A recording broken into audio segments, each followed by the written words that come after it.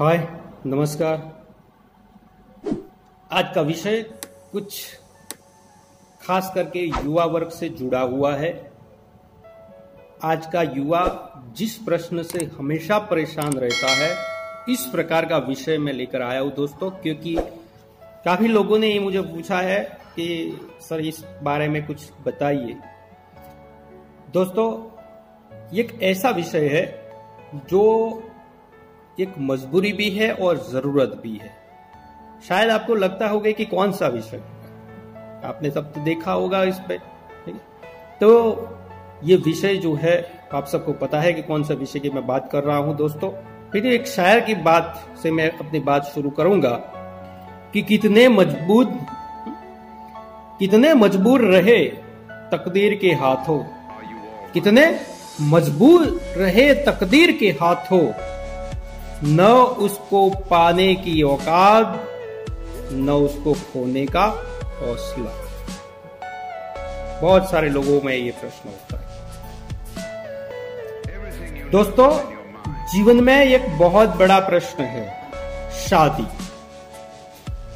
शादी क्या है? मैरिज, शादी। दोस्तों, जन्म और मृत्यु। ये व्यक्ति के हाथ के बस की बात नहीं है। आपको कहा जन्म लेना है, वो आपकी बस की बात नहीं है। आपको किसी गरीब के घर जन्म लेना है, या हम किसी बड़े परिवार में जन्म लेना है, या आपकी बस की बात नहीं है। मृत्यु, सनातन सत्य पर कब मरना है, वो आपकी बस की बात नहीं है। वो जब भी आएगी, तब आपको पूछने वाली नहीं है मृत्यु कि भाई मैं आ रही हूँ, मैं तुझे लेने इस टाइम को आऊँगी, इस तारीख को आऊँगी तुम तैयार रहना। नहीं, कुछ भी नहीं। पूरी ज़िंदगी दौड़ धाम करके कुछ भी किया, बहुत कुछ काले कर्म किए, बहुत कुछ किया, और चल पड़े। तो ऐसी है ज़िंदगी। किंतु ये दोनों सनातन सत्य है, जन्म और मृत्यु, किंतु तीसरी एक बात भी सनातन सत्य है, शादी। ये दो जो है, वो आपकी बस की बात नहीं है, किंतु शादी जो है, आपके बस की बात मैं समझता हूँ कि 50-60 प्रतिशत है। आपको लगता होगा कि क्यों पचास या 60 प्रतिशत की बात कर रहे हैं? क्योंकि मैं ये समझता हूँ कि आज के युवा वर्ग में जिस प्रकार समय बदलता है, इस प्रकार से शादी जो है, उसके मायने भी बदल रहे हैं। शादी पहले क्या होता था कि केवल दो लोगों का मिलन नहीं होता था, शादी दो परिवारों का मिलन होता है, दो समाज का मिलन होता है और काफ़ी रिलेशन का मिलन होता था। आज के युग में शादी क्या है? तो जिस प्रकार से भारत में सामाजिक बंधन है, इस प्रकार से शादी जो है, वो आप अपने समाज में कर सकते हैं, अपनी जाति में कर सकते हैं, ये सामाजिक नियम है। काफ़ी लोग हैं जो इस समय के साथ बदलते जा रहे हैं और जो उनको जहाँ पर पसंद हो, वहाँ पर कर सकते हैं। तो ये सारी बातें। किंतु सबसे पहले बात जिस प्रकार से मुझे बार बार पूछा गया कि शादी किस उम्र में करनी चाहिए, ये बहुत बड़ा प्रश्न है। मैंने काफ़ी युवाओं को सुना है जब भी बात आती है शादी की तो वो कहते हैं कि मुझे शादी नहीं करनी है। मैं पूछता हूँ, क्यों? उत्तर नहीं होता उनके पास। बस नहीं करनी है।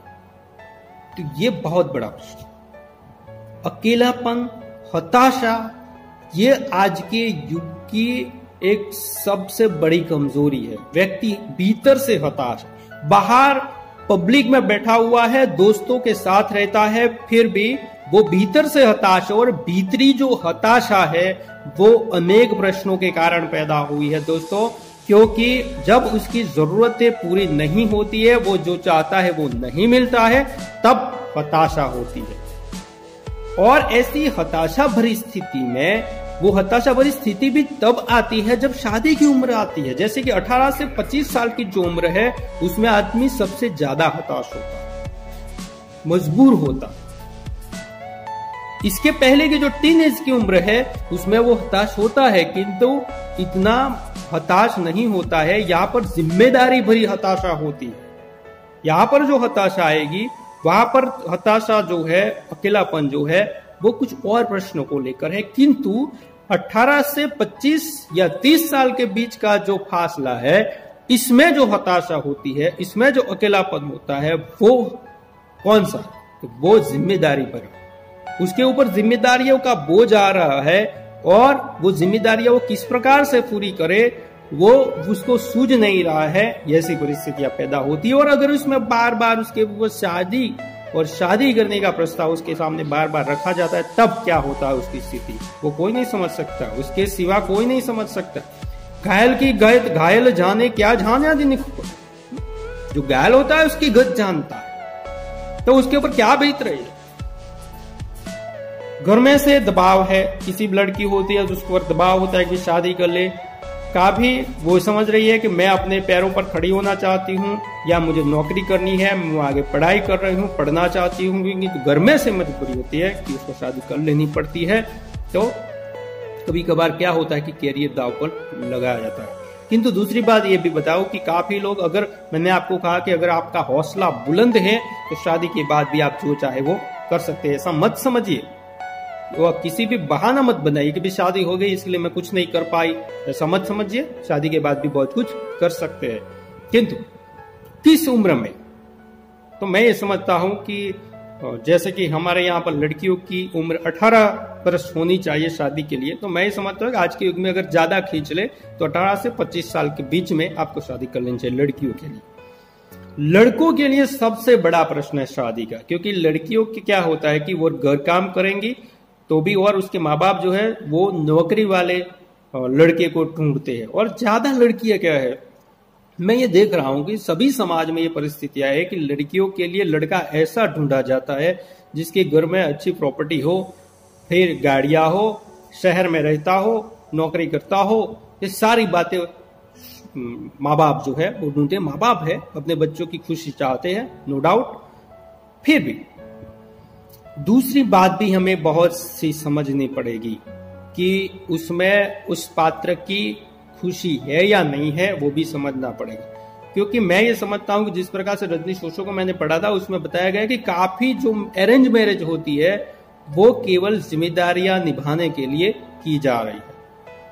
और आज के युग में जो लव मैरिज होती है वो भी जब जिम्मेदारियाँ आती है और हमारी जो समस्याएँ बढ़ती जा रही है या ज़िम्मेदारी आने के बाद जरूरतें पूरी नहीं होती है, तब उसमें भी डिवोर्स की समस्या बहुत बढ़ती जा रही है। तो लड़कों के पर ज़्यादा ज़िम्मेदारी होती है, उसको घर में पैसे लाकर, जैसे हमारी सामाजिक व्यवस्था है, इस प्रकार से हम देखते हैं तो लड़के पास पैसे लाकर घर में देते हैं और घर वाली घर चलाती है। तो लड़कों को मैं ये समझता हूँ कि जब तक वो कुछ कर न ले, कुछ पैसे कमाने का कोई ज़रिया न ढूंढ ले, इससे पहले शादी न करे तो अच्छा। है इसके बाद सारी समस्याएँ पैदा होती है। जैसे मान लीजिए कि आपकी मंगनी हो गई या शादी होगी इसके बाद सारे खर्चे शुरू हो जाएँगे।